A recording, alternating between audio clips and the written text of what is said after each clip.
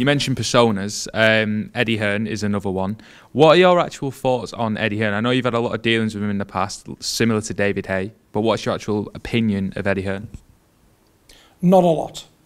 He's a spoilt brat, and he's not a good manager at all because he's cost AJ 110 million and got him beat three times. I won't want him managing me. do you think, do you put AJ's career and how he's been moulded down to Eddie Hearn? Do you think if AJ was managed differently, his career could have turned out a bit different in terms of the losses? Turn out any different. The man's a multi-millionaire. You know, he's been a world champion. He's give everybody some good pleasurable nights, hasn't he? So what we do is support him for what he's done. You know, forget what he is now. Yo, so what? He's a beaten fighter. He's lost three times now, hasn't he? At the end of the day, he's not the man he was. But there's still a big demand for people to see him box. Eddie Hearn's done a good job of him up to press. But he's made a couple of big mistakes late on in his career by turning down 15 million quid stand aside money and AJ would have fought Usyk and then the belts would have been back in the UK all of them and again we're here now today offering him nearly half of everything across the board and we still can't get him to sign. So if Eddie Hearn's saying don't sign, I'd reconsider. That leads us perfectly onto the AJ fight. Everyone's talking about it, John. I know you you you yourself have praised AJ recently in, in oh, the past, and you've said always you've always wanted to see that fight, haven't you? I have, yes, and I don't understand why they won't sign unless they come out with some proper stuff and explain themselves right and say, well, look, you know, it's like this. I'm coming off a loss. I want some time out the game with the family. I want to enjoy myself. I want to take months out, take a look at my career, see where I'm at. We'd understand that. Fair dues, no problem. He's earned that right. But to keep giving it the big and saying you want to do this and you want to do that. But what they want is a to and fro for next two year. So they can make money off it. They can make money off of all of that. But we don't want to do that. We want to get it boxed off, done and fought, and on to the next move. Chase Usyk down then. That's the job. The fighters. Tyson's a fighter. And that's what he wants to do. You know, chase them all down, beat them, put them in the place, shut all these people up what thinks Tyson ain't the real deal. Because people out there still think Tyson ain't the real deal, which is incredible. People do think like that. But again, it's an opinion. But we know we can beat these men. Where are we at then with the fight from, uh, from your... Well, to be honest with you, Tyson's been banging his drum now non-stop, hasn't he? Mm-hmm. Since he lost to Usyk, what, a month ago now? And all we get is nothing. A load of excuses back. He's been offered everything. Tyson said, look, whatever you want, you've got it. Let's just fight. Sign the contract. No. So there's only one reason they won't sign, because they don't want it. What would actually happen if when that fight takes place? Listen, AJ's a good fighter, but Tyson's a brilliant one. When you put a brilliant fighter against a good fighter, there's only one outcome, a knockout.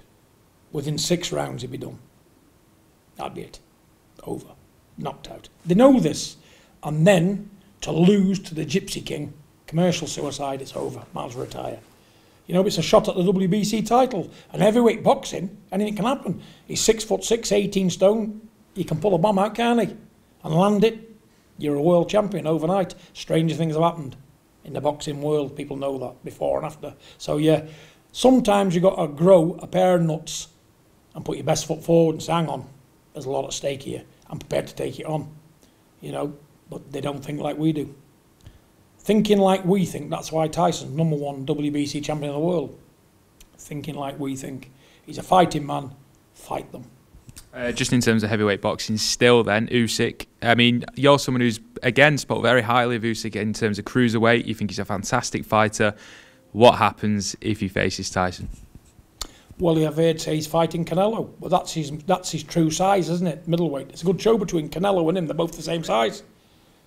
It'd be a good fight, but you know he could beat Canelo and Usyk on the same night. Tyson.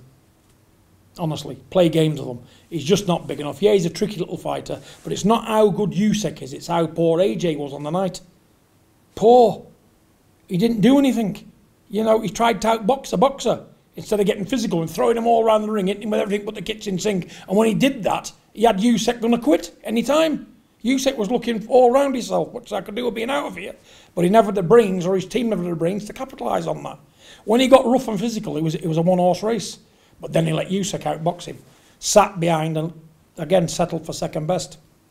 Like uh, the first time. And then Deontay Wilder again in the heavyweight scene. I know you've made your gripes about Deontay Wilder. What's your actual opinion of him? I can't stand Deontay Wilder. And if I seen him, I'd hit him in the face with a piece of 3B2. Because I can't stand the man. He's a liar, talks out of his rear end, that's why his breath stinks. You know what I'm saying? So at the end of the day, what can you do with a man like that? You know, how can you cheat three times? It's ridiculous what he's saying. And for that reason, I won't give him another paycheck. Would not. I'd give it some other deserving poor bugger who could do the money properly and be nice about a defeat. Because you can be a man in defeat, can't you? He can't. He's not a man. Always said he's not a man. Big spoilt kid. I mean, you yourself are a, a proud fighting man from a proud fighting family. I mean, for someone to say that Tyson was cheating is to accuse you all, isn't it? Yeah, absolutely. And it's terrible because a man like him can't swallow a defeat, how are you going to learn? If you don't know where you've gone wrong and you're in denial about losing. I know he's got to drum a fight up, he's got to say this, he's got to say that to get work. But the, the bottom line is he got panned three times and demolished twice out of three. So I don't know where he's going with that. He's a beaten man in my book, him. Done and dusted. Enough said about him anyway, I don't like him. We'll stop talking about Wilder. Um, we're talking about influencer fighting again with with Tommy. I know everyone's asked you this, but would you consider having another fight? Me? Yeah. Of course I would. Nobody wants to fight though, do they? You know, I'm up for options, me, but the time's running out for me. I'm 57 years of age. I'm not 50 yet, I'm 57. I was born in 65, not 64. But even so, I'm fit and strong and I'm probably in better condition now than what was 10 years ago. Because I don't take drugs, I don't drink that much, and I'm in bed every night and I train every day. So I'm, I'm what all them champions was then, they're not now. Because the high life's done them. I mean, why do why do you like fighting so much, and why mm. would why would you give a, an influencer fight a go as well? Why do you love it so much? I love it because even when I was a professional, I I used to fight without training. I'd roll up my bag because I want to punch up on a Saturday night. You know, on a Friday night, you say to me, oh, you, there's a man here, do you want to fight him? Yes. I was getting 200 quid. And I must have loved it to get my head smashed in for 200 quid because that's what we do, innit? You know, I love fighting, win, lose, or draw. I've been knocked out before, he gives a damn? You go again. Yeah, what the hell? Who would be the perfect opponent for you? Would you say if you could handpick someone, regardless of who they are or how you could get get that fight going, who would be the perfect fight? Mike Tyson. Because I named my son after him. That'd be a, would that be an honour for you? Be an honour for me. Be an honour. I'm not interested in the rest of them. No. How would a fight with Mike Tyson go with you? Um, I don't know because, well, let's put it this way: twenty years ago, we wouldn't be here having this conversation, would we? but now, you know, they've led a funny life, haven't they? He's led the high life, you know. He's not as fresh as me, I know that. I'm as strong as him, and I live cleaner than him, and that's the difference between me and him. You know, let me put it this way: he'd probably beat me, but I could probably beat him. But there's one thing for sure: it won't be much of an exhibition because I would try and win. I've always tried to win. Even when I couldn't win, I tried to win. And even when I was boxing, I was a front foot fighter. So what the hell? You know, he's been a, he's been a, world champion. He's been a Hall of Fame great. If he wasn't a great, I wouldn't have named my son after him. I got utmost respect for Mike Tyson. It'd have been honour to share the ring with him, and it'd be even bigger honour to get knocked out by him. And it'd be I would try my best. He knows that. He knows I'd try my best.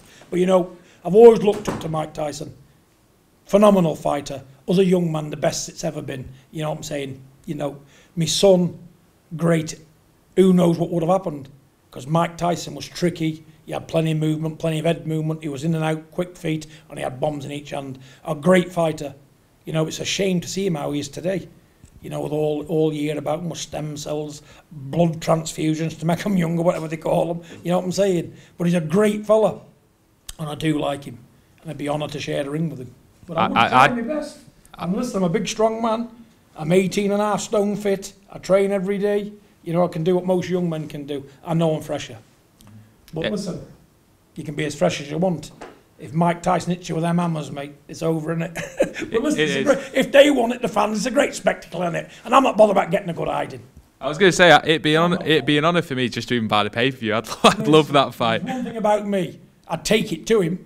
He wouldn't have to come looking for John Fury. I'd get my hands up high, know I was strong. You know, I'd let him probably, he could do what he wanted to do. Can you imagine the press conferences? God only knows. We'd probably have a fight before the press conferences, wouldn't we? But I love Mike Tyson. And Mike, I'm saying it, mate. I love you, man. But if we can do something, let's do it. Uh, two more from me then. Uh, fir- secondly, well, firstly, David Haye. We spoke to him last week, and he said that the reason he always goes against Tyson Fury is because it's fun and it sells. What is your actual opinion of David Haye? So what is he saying? Lies sell then? conning the public. He's there paid for an honest opinion as a pundit.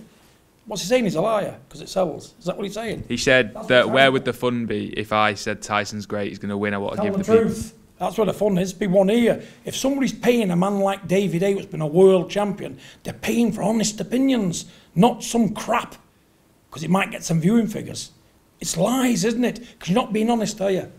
I'm sitting and I'm being totally honest with you, because I'm an honest man.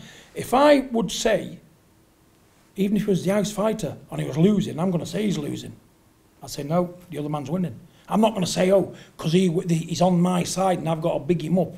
I'd feel an idiot because there people, people in the know you've got to be careful of because they're saying and he don't know what he's talking about. How can he say this and that when he can see his man's losing? If my man's losing, I'm going to say he's losing. I'm not dressing up for nobody. You know, if he feels he's got to tell lies to deceive the public to keep his job, that's up to him. But listen, I'm not knocking David A's achievements. Cruiserweight champion of the world, heavyweight champion of the world, don't get any better. A lot of respect for him in that department. You know, but tell the truth. You know, and I do and stop being jealous of Tyson. I do believe he's jealous of Tyson. And he is scared stiff of him, isn't he? He's scared stiff of Tyson. He cut his own eye years ago to get out of the fight. You know, he said he's going to fight him twice and pulled out twice. But listen, you couldn't blame him. Because if he'd have fought the Gypsy King back then, he probably wouldn't have a pundit's job now because he wouldn't be able to talk today, would he? Messing with the Gypsy King, David A. Watch him. And um, I've got a lot of respect for the guy. Been a world champion. Good luck to him. And then finally, then, um, obviously, it's, it's amazing to think you have one son who's a heavyweight champion. Now you got Tommy, all your other sons are brilliant fighters, and he's conquering WWE as well. He's he's global. Like, how proud is that for you? Listen, son, I'm sat here probably the most luckiest, proudest man alive today. You know, and I keep pinching myself every hour of the day thinking I'm going to wake up from a dream. But listen, it's reality. He's here, he's doing it. He's won everything. You know, he's had a number one at single with Robbie Williams. What can I say? He's won everything and done everything, can he? WWE, that's it. What can you say? You just you just produce it, John. just produce it. That's why I've insured me nuts for 10 million quid. There you go. Insure insured your nuts. Insured me nuts, 10 million quid. I mean, There's you only- back it up. There's only champions come out of these nuts, believe me. It's been proven, isn't it? All my lads can fight. They're all big, strong men, six foot five plus. You know, so I'm doing something, aren't I? You know, so at the end of the day, but listen, serious notes. Tyson's the king of the world. He can do everything. There's not a mission he cannot complete and be a winner of it.